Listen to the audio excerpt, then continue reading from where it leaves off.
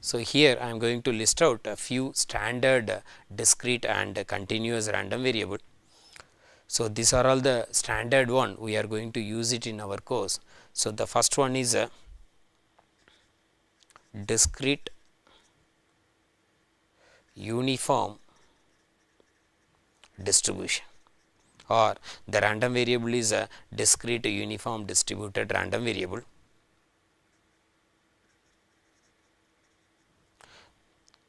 Suppose I make the random variable x is uniformly discrete uniformly distributed with the with the discrete points x n.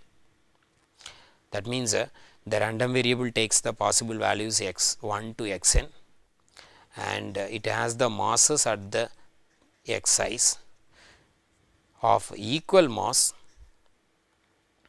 for i is vary from 1 to n and all otherwise it is going to be 0. Then in that case we say the random variable is going to be called as a discrete uniform distribution. That means, uh, it is going to satisfy the property the summation of uh, all the x i's going to be 1 and the probability of x equal to x is going to be uh, greater than or equal to 0. That means, uh, for this x size it is going to be greater than 0 and all other points it is going to be 0. Therefore, it is satisfying the probability mass function of the discrete random variable. Therefore, this is the probability mass function of the random variable of the discrete random variable x. So, the p uh, probability of x equal to x i is going to be the probability mass function of the discrete random variable x i. The second one the discrete case that is a binomial distribution.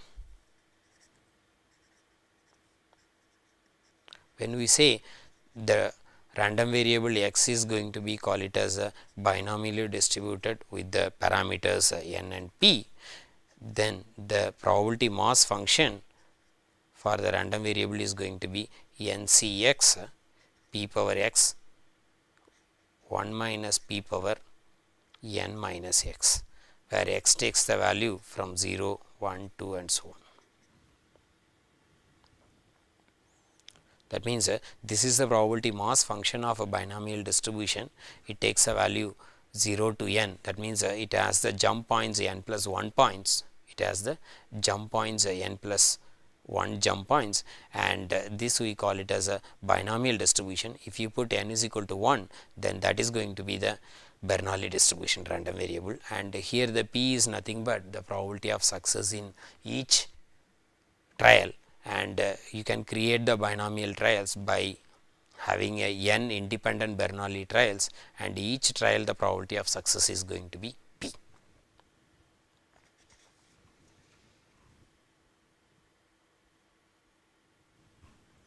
The third uh, discrete random variable which we are going to use that is a geometric distribution.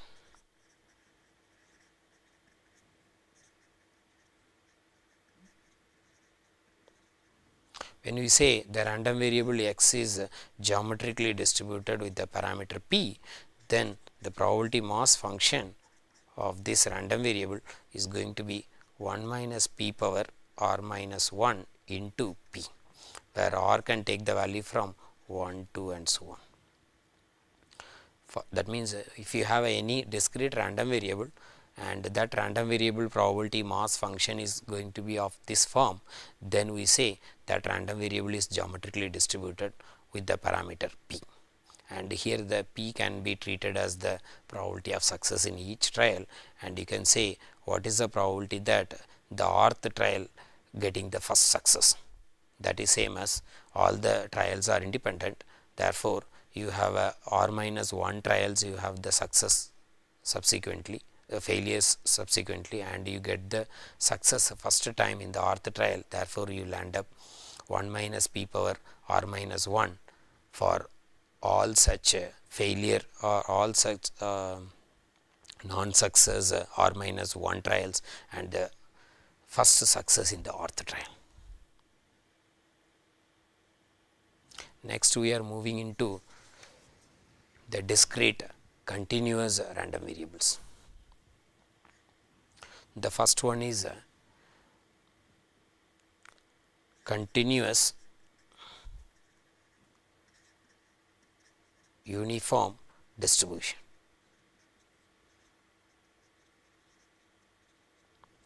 When we say the random variable x is continuous uniform distribution between the interval a to b, then the probability density function for the random variable x is going to be of the form 1 divided by b minus a between the interval a to b and all other it is going to be 0. That means, the probability density function for this random variable is is have the height a and if you treat it this is b and this height is 1 divided by b minus a. That means, uh, if you find out the integration between the range a to b of a height 1 divided by b minus a then that is going to be 1 and this is going to be greater or equal to 0 always. Therefore, this is going to be the probability density function of the continuous random variable.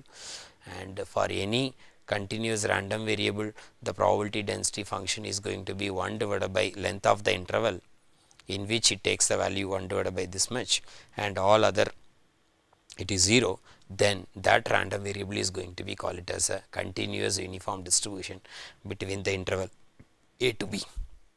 And if you see the CDF of this random variable,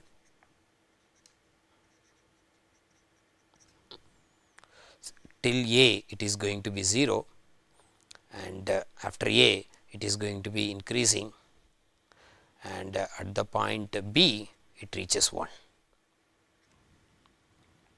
That means, uh, you can come to the conclusion if any random variable CDF is going to be uh, between 0 to 1 in the interval a to b with the standing line, then you can come out what is a, a point in which a, a and b and you can come to the find out what is the random variable in which it is going to be a continuous it is going to be a uniform distribution between the interval a to b. The second one is exponential distribution.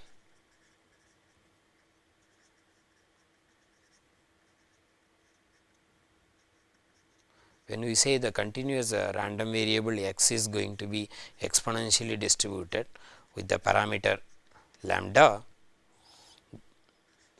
if the probability density function for that random variable is going to be lambda times e power minus lambda x and between the x is going to be greater than 0 or if it is going it is going to be 0 otherwise.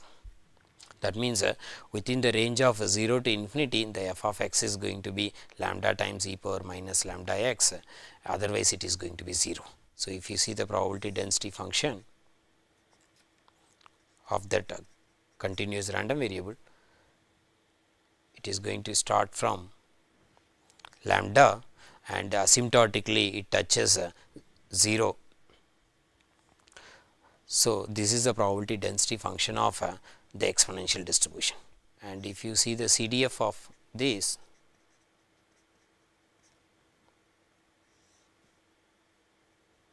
it reaches 1 at infinity.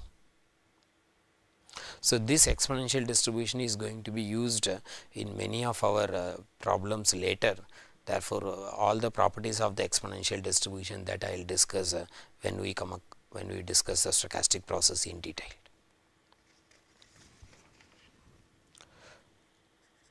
The third distribution is a normal distribution or Gaussian distribution. So, when we say the random variable is normally distributed with the parameters mu and sigma square, the probability density function is going to be 1 divided by square root of 2 pi sigma e power minus of times x minus mu by sigma whole square. Here the x can lie between minus infinity to infinity and the mu also can lie between minus infinity to infinity and the sigma is a strictly positive quantity. And the mu is nothing but the mean of a normal distribution and the sigma square is the variance of normal distribution and the sigma is the standard deviation. And the standard deviation is always strictly greater than 0 and if you see the probability density function of f of x asymptotically it start. So I made it with the mu is equal to 0 and this is the probability density. So it looks like a bell shape so, this is going to be a normal distribution and you can always convert the normal distribution into the standard normal by using this substitution z is equal to x minus mu by sigma. So, you land up with the standard normal 1 that is 1 divided by square root of 2 pi e power minus z square by 2 where z lies between minus infinity to infinity. So, this is going to be a standard normal distribution in which the mean is 0 and the variance is 1. So, other than uh, the discrete uh, standard distributions, uh, we have discussed only the discrete uniform distribution, then second we discussed the binomial distribution, then we discussed uh, geometric distribution. The fourth one that is a very important that is a Poisson distribution.